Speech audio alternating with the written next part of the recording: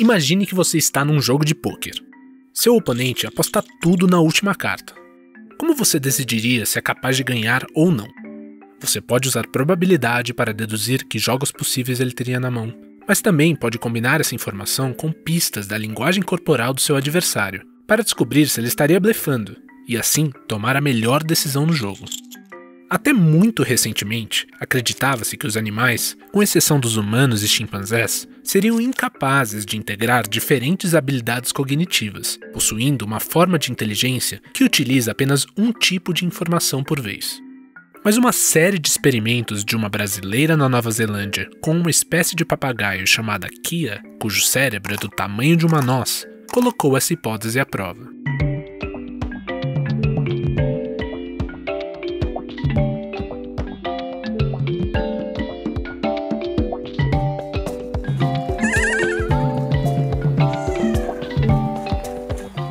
Sempre gostei muito de animais, sempre tive animais em casa.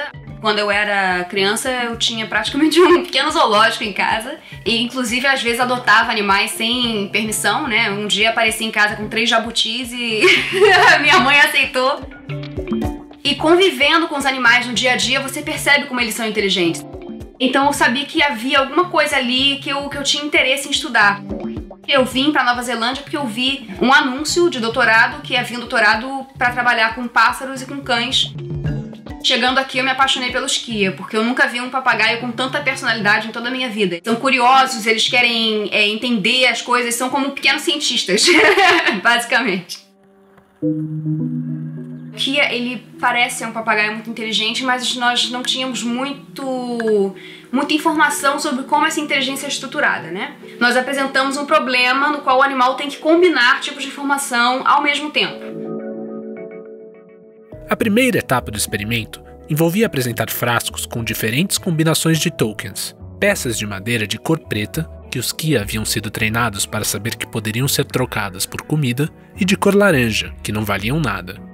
Uma pesquisadora pegava, ao mesmo tempo, algo de dentro dos dois frascos, e o papagaio, sem conseguir ver as cores das peças retiradas, deveria adivinhar.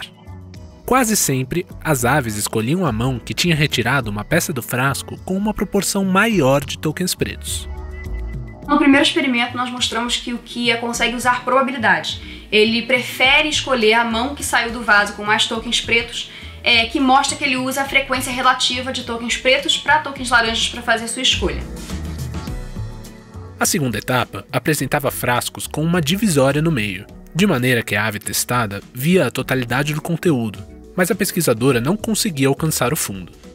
Rapidamente foi possível observar que os Kia consideravam apenas a parte acima da barreira para tomar suas decisões.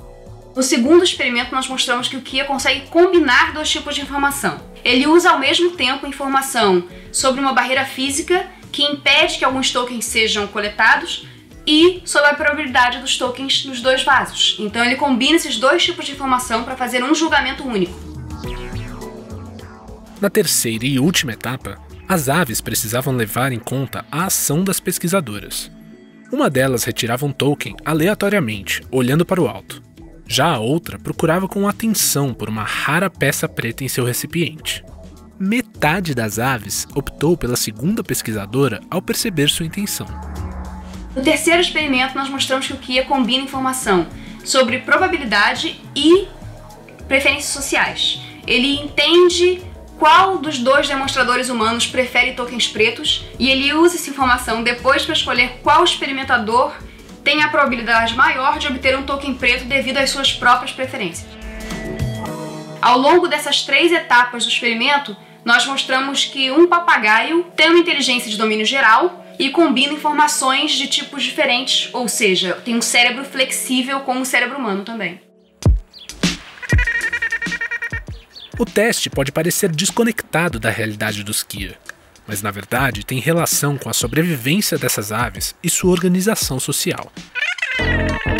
Ele é um papagaio de montanha. Ele é a única espécie de papagaio que habita áreas montanhosas. Isso significa que há uma certa escassez de comida no ambiente dele. O que consome mais de 200 tipos de alimentos diferentes. E para fazer isso, ele precisa ter certa perspicácia na, na, na vida dele do dia a dia. Ele tem que explorar novas possibilidades de encontrar alimento. Provavelmente esse é um dos motivos porque o que é tão inteligente.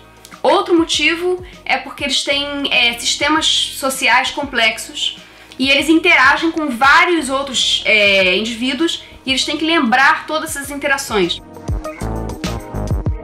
Vários animais têm uma inteligência bastante similar à nossa, é só que eles demonstram isso de forma diferente. Então, às vezes, pra gente descobrir, isso requer um pouco mais de estudo, ou, entendeu? Mais dedicação, porque a linguagem deles é outra, porque eles comunicam de formas diferentes. Cada animal tem uma inteligência única, é, e até a gente entender a diversidade de inteligências que existem no mundo, vai levar um tempo.